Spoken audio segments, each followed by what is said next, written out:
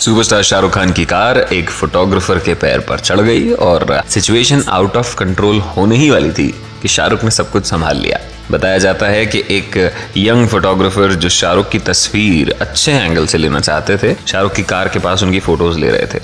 वे भूल गए थे कि जब ये कार चलेगी तो उनको चोट भी लग सकती है।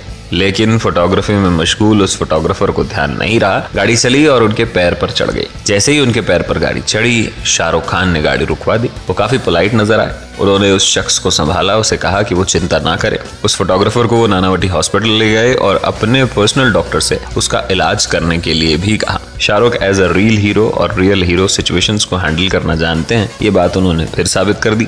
उस फोटोग्राफर की सिचुएशन अंडर कंट्रोल है, उसे बहुत ज़्यादा चोट नहीं आई है और अब उसका पैर भी ठीक है। प्रोफेशनल फ्रंट पर बात करें तो शाहरुख बहुत ही जल्द आनंद एल राय की डॉफ फ़िल्म में नज़र आएँगे, जिसमें वो बौने बने दिखाई देंगे। और दूसरी तरफ़ इम्तियाज़ अली की रिंग में वो अनुष्का शर्मा के साथ नज़र आएँगे।